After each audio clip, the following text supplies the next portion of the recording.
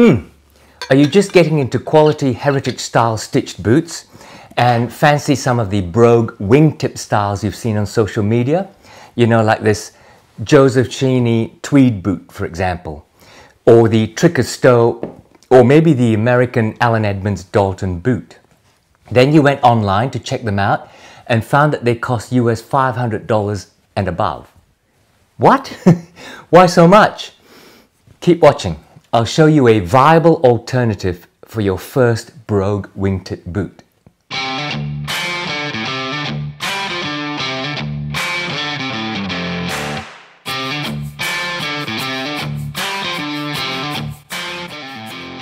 G'day, welcome to Bootlosophy, and if we haven't met yet, my name is Tech.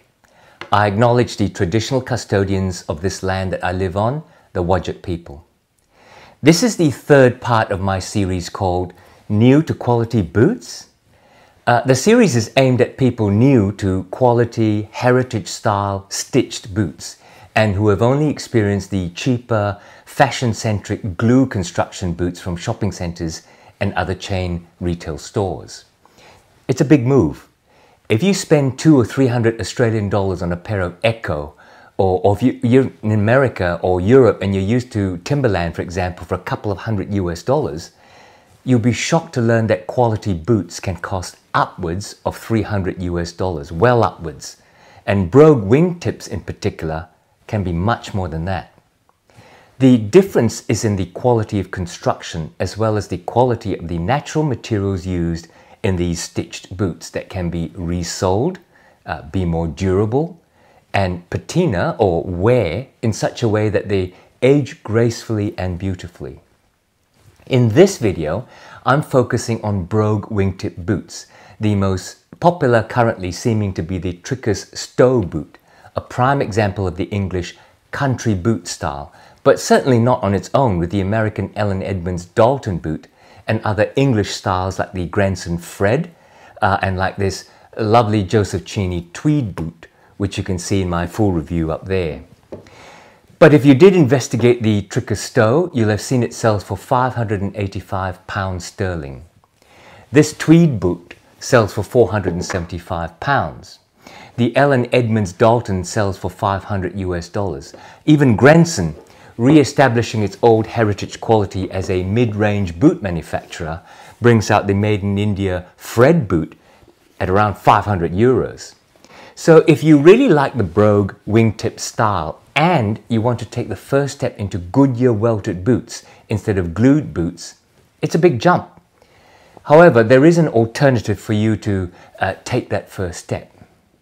But we, before we look at the viable alternative, let's take a look at the style. Brogue boots or boots with holes uh, punched through in a regular pattern and wingtip boots, boots showing the winged panels from toe to the sides of the vamp, um, have a strong connection with each other in history.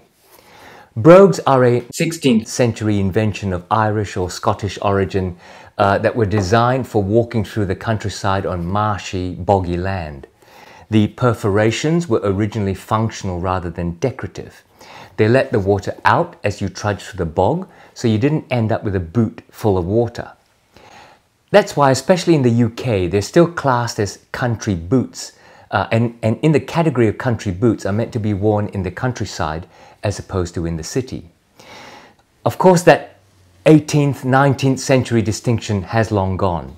Today, they can be worn with great versatility, uh, even with a suit, because in dark colors they can be worn formally, uh, or they can be worn casually with slacks, chinos, uh, wool or flannel pants, and tweeds or jeans and t-shirts, depending on the upper's leather.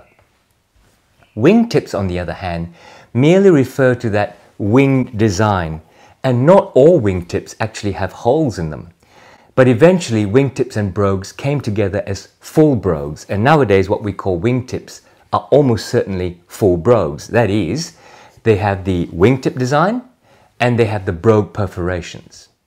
As I said, a good brogue boot made in one of the stitched construction methods like Goodyear welting or stitch down or Veldtschoen construction can cost a long way north of three or 400 US dollars. The most famous examples are in the 500s. Uh, by the way, if you want to see the difference between all the ways boots are constructed, you can catch this video up here. So, if you like the style, what is an entry-level boot that you can buy and try to see if you like the style and then decide if you actually like the feel of a welted boot? Uh, because moving up does take a bit of getting used to if you've only had the fashion-centric cemented construction style boots. They tend to be heavier. Uh, they will take a few days or more to break in and allow the sole and stiff welt to flex, as well as allow the thicker full grain leathers to mold your movements and flex around your ankles and the top of your vamp. It makes sense to not jump right in and spend several hundred dollars uh, more than you're used to spending. And this is the alternative entry-level Brogue wingtip boot. This is the simply named wingtip boot by Thursday Boot Company. Now, this is not meant to be a deep review. I've already done that and you can check it out here. But what I will do in this video is tell you a bit about Thursday, the construction of these boots, and why they can be your first entry into Brogue wingtip boots. Thursday is a relatively new quality heritage style boot company founded in 2014 when the two founders couldn't find quality boots they wanted at an affordable price and decided that they could start a boot company to make them. They started with a Kickstarter campaign and history was made as they founded an internet-based direct-to-consumer company making most of their boots out of uh, one of the shoemaking capitals in the Americas, Leon in Mexico. Keeping infrastructure, uh, wages and material costs uh, down and removing the middlemen retailers, they offer most of their boots at the US $200 mark. And this wingtip boot sells for US $235. Taking a look at the construction and materials, it's made using the Goodyear welted method uh, of construction, considered a gold standard by boot enthusiasts. You can check out my video deep diving into Goodyear welted construction up here. But basically, a thin strip of leather called the welt is sewn onto the uppers uh, and insole on the inside of the boot, while it is also sewn through on the outside to the midsole and sometimes outsole as in this case. Thursday uses a rubber studded outsole on this boot. It's modeled after the UK made uh, and very famous Dainite outsole and it's pretty good for grip and durability as well as low profile for being dressy. Inside the boot, some of the cost savings, when you compare these to traditional brands, start to become apparent.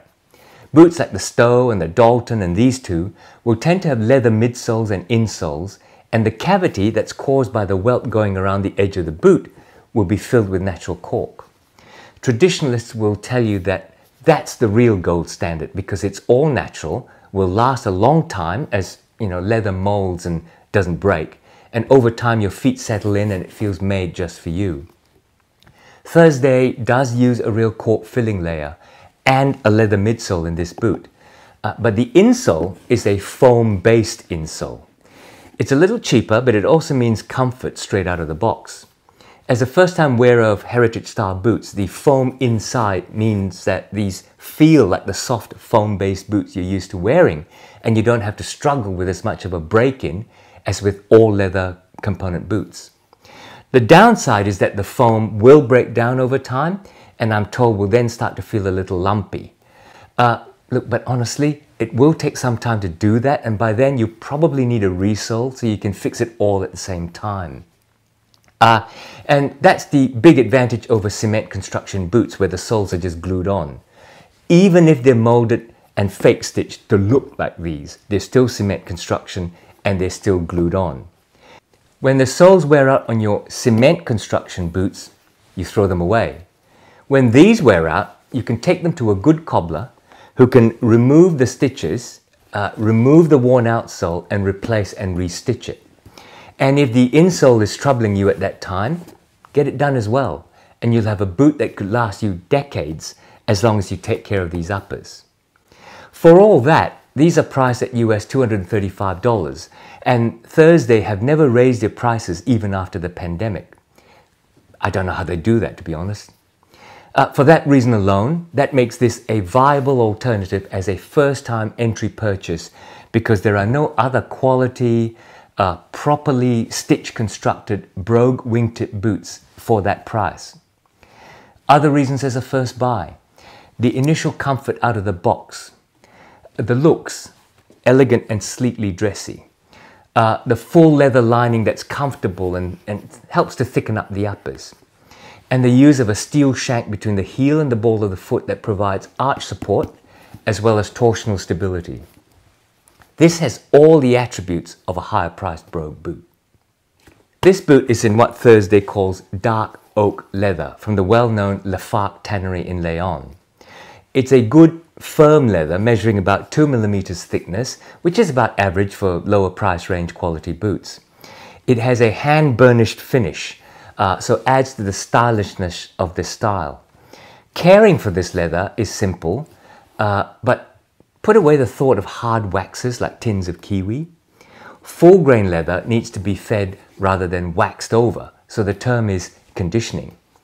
You can use any quality conditioner, but my go-to for smooth leathers is Venetian shoe cream, which conditions the leather but also has enough waxes in it to give it a reasonable shine. Condition it at least a couple of times a year, maybe more depending on frequency of wear uh, and what conditions you wear them in, like, you know, rain and snow, which doesn't happen here in Australia. When you do condition it, get a good horsehair brush first and brush off the dirt, uh, dust and grime. Then put a light coat of Venetian on. Uh, if you want, a, a, put a couple of light coats allowing it to dry between coats. And then when it dries to a haze, give it a really good brushing to uh, polish it up and remove the excess. If you want, you can put a thin coat of cream polish after the conditioning, like um, I use a Tarrago product, which is a mid-range uh, price product rather than its more expensive Saphir cousin, the same company. I would use a neutral cream because of the hand burnished finish. You don't want a dark brown cream polish to wipe out the difference in the shades that you get in the shaft and along the, the, the, the toe box. Uh, if you really want to shine, you can put a smear of hard wax. I use a damp sponge to pick up the wax from the tin and then dab and then smooth it over. Uh, and then again, let it haze and brush. An important aspect of boot care is to brush it regularly, even if you don't condition it every time that you brush it. People say brush after every wear, but I'm not so Catholic about it. And and I brush maybe once a week or once a month.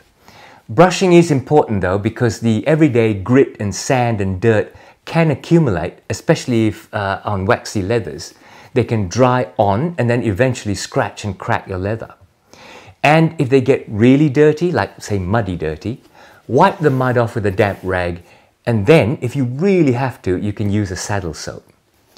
Thursday offers the wingtip boot in seven different uppers, leathers and colors and two of them on a crepe sole rather than the studded sole. Boot care will be different uh, between the different leathers, but you can ask Thursday what to do. Their customer service is usually very good. Before I finish, let me talk about sizing.